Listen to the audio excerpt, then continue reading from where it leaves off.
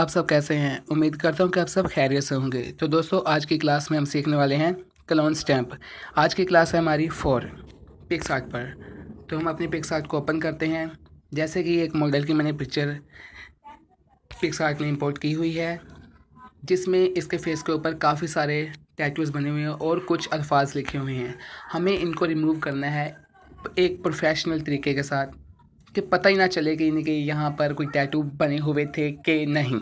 ठीक है?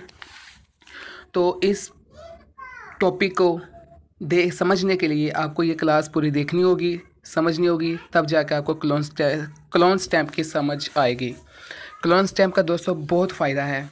आपके किसी क्लोथ पर, किसी भी जगह पर ऐसे कोई निशान हैं, या ऐसी कोई चीज़ आप उसे रिमूव करना चाहते हैं तो आप क्लोन स्टैम्प से बहुत ईजीली उसे रिमूव कर सकते हैं।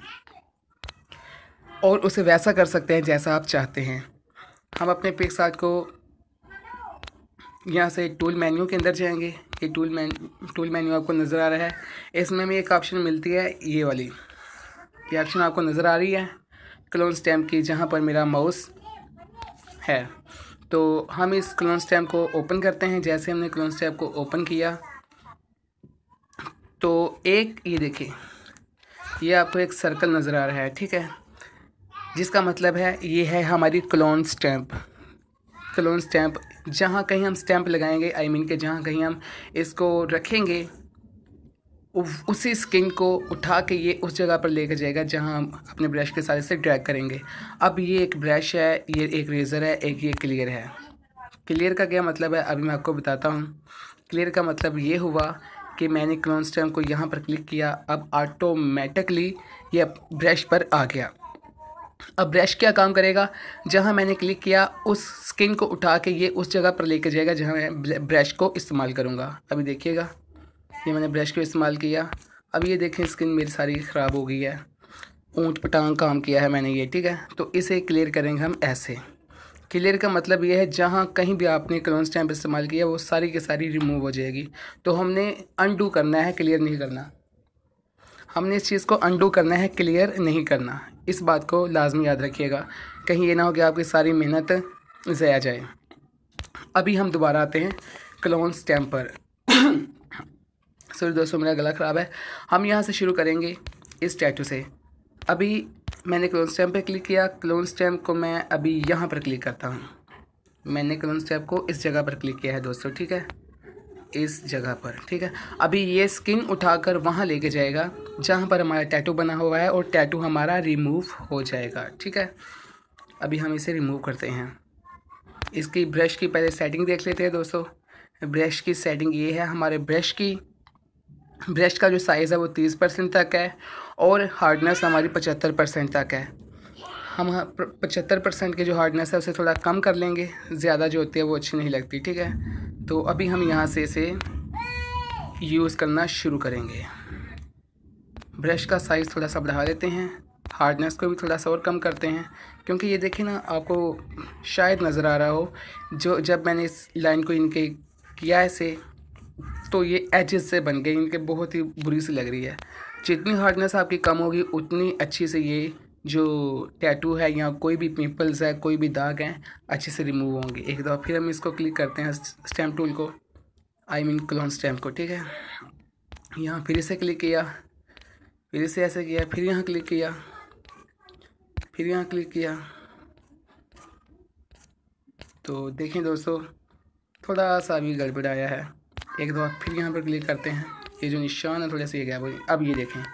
अब ये देखें मुकम्मल तौर पर वो जो टैटू का निशान था वो गायब हो चुका है। अब हम यहाँ पर कोशिश करेंगे। क्लोन स्टैम्प को क्लिक किया और यहाँ पर इसे क्लिक किया जहाँ पर हमारी साफ़ स्किन है, ठीक है? अब हम इसे यहाँ पर ड्रैग करेंगे। एक दफ़ा फिर जितनी मरतबा आप न्यू इसे क्लोन स्टैम्प को इस्तेमाल करेंगे, बार बार यूज़ करेंगे तो उतनी अच्छी, खूबसूरत आपकी स्किन इनके उस जगह पर बनेगी जहाँ पर आप टैटूज़ या कोई भी दाग रिमूव कर रहे हैं। अगर आप एक दफ़ा ही इसे दबा कर उस दाग को ख़त्म करने की कोशिश करेंगे तो वो गड़बड़ी हो सकती है। अब हम इस जगह से रिमूव करेंगे इस चीज़ को। यहाँ पर क्लिक किया। अब हम इस तरफ़ गए। यहाँ पर क्लिक किया।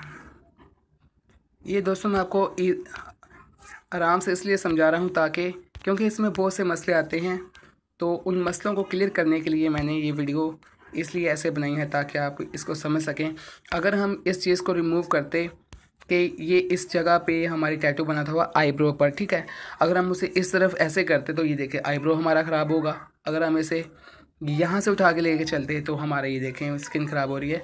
आपने काम उस हिसाब से करना है, जो कलर जो कलर आप चाहते हैं कि उस जगह पे आएँ उसी के मुताबिक के कलर आप पर, आप उसी कलर के मुताबिक स्टैम्प टूल को यूज़ करें, ठीक है?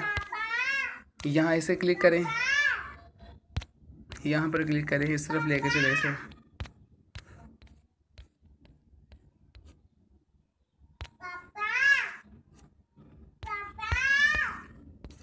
ये देखें दोस्तों, अभी ये भी तकरीबन क्लियर हो चुका है। ये थोड़े से निशान आगे हैं। ये किसके निशान आए थे? इस ये जो हमारे हेयर हैं, इनके निशान आए थे।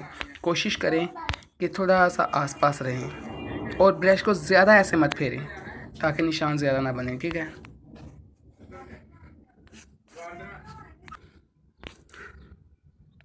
तो दोस्तों देखें, बहुत ही अच्छे तरीके के साथ अभी हमने कितने, एक, दो, तीन जगह से टैटू को रिमूव किया है। अभी हम इस जगह से रिमूव करेंगे। क्लोन स्टैम्प पर आए। थोड़ी सी इसकी हार्डनेस और कम करेंगे। साइज़ इतनी ठीक है। ये आपकी मर्ज़ी है। आप जितना मर्ज़ी साइज़ लेना चाहिए ले सकते हैं। हार्डनेस जितनी चाहें कर सकते हैं। ये आपके हाथ की कारागरी है, ठीक है? क्लोन स्टैम्प पे आए यहाँ पर क्लिक किया। फिर क्लिक किया। फिर क्लोन स्टैम्प को क्लिक किया। तकरीबन तीन से चार मरतबा आप उसी ब्रश को यूज़ करें और उसके बाद क्लोन स्टैम्प नहीं लें। उस जगह से लें जिस तरह के आपको स्किन चाहिए। कलर चाहिए।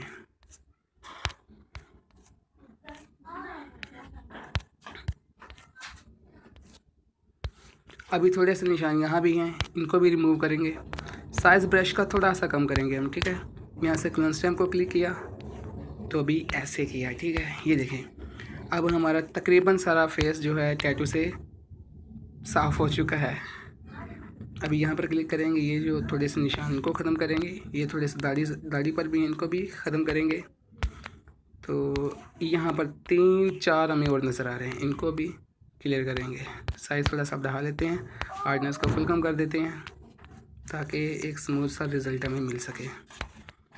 तो ये नहीं दोस्तों पिक्चर अभी रेडी हो चुकी है, एक यहाँ पर भी है। यहाँ पर इसे क्लिक करते हैं। चलो जी। तो दोस्तों, बस इतना सा काम था। आपको अभी इसका मैं बिफ़ोर रिज़ल्ट दिखाऊँ। ये इसका बिफ़ोर रिज़ल्ट है और ये आफ्टर है। तो दोस्तों, इसी तरह की एडिटिंग अगर आप करना चाहते हैं पिक्स आर्ट पर तो प्लीज़ मेरी क्लासों को देखें।